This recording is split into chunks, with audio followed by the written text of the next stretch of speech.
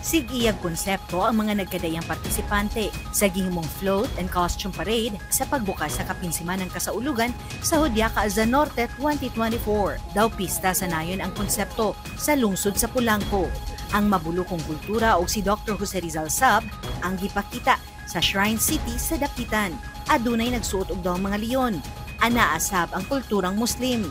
Sulod sa Hudyaka site, nagpalibot sab ang mga agri-booth sa mga nagkalain-laing lungsod sa probinsya.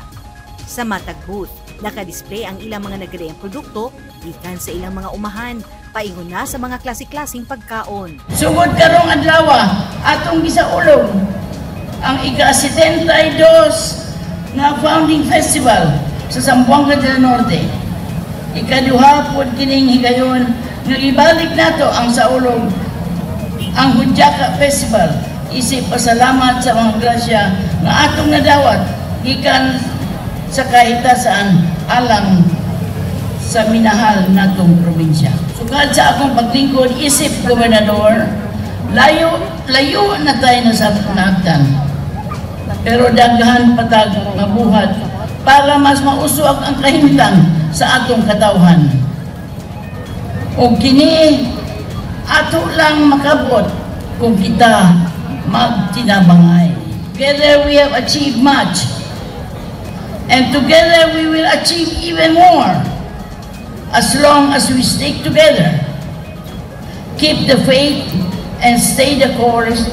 We can make things happen and create a brighter future for the Sanontianos. Ang vendor nga si Jessie, ikalipay niya ang okasyon tungod ako-dako ang iyang mauli nga kita para sa iyang pamilya.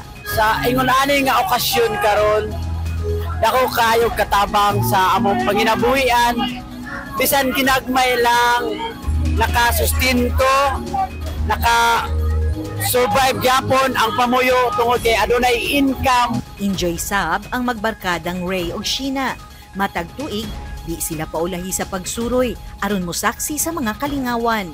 Um, we hope that everyone is happy. Yeah, and enjoying the night. Opisyal sab nga gipaila-ila sa publiko ang 13 ka mga kandidata sa Miza Norte 2024. Og syempre pa,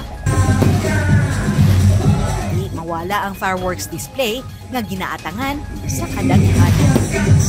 Tugay na Jestro. Newsline Philippines, Province of Zamboanga del Norte. Stay safe.